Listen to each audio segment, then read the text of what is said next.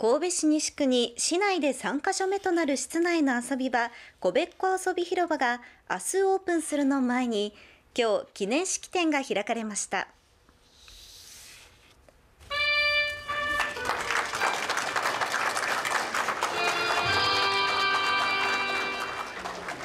神戸市西区の地下鉄西神中央駅のすぐそばに完成したこべっこ遊び広場は神戸市が子育て支援などを目的に新たに整備したもので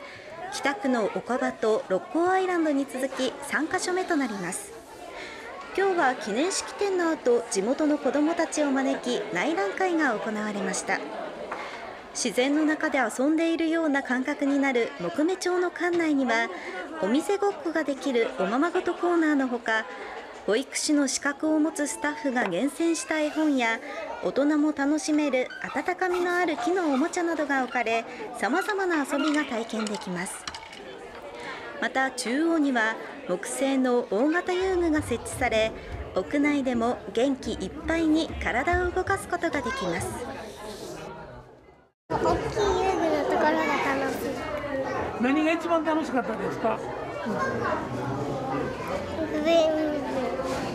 今日みたいに雨が降っている時にもやっぱり家の中で体力を消耗させるの大変なので一緒にあの駅前でお出かけができて遊ばせられるっていうのはむちゃくちゃありがたいです。うん体を動かして遊べるとこもあるし家でないようなおもちゃばっかりあるんでなんか自然とこうやりたがるというか利用は0歳児から就学前の親子が対象で利用時間は1時間ごとの完全入れ替え制。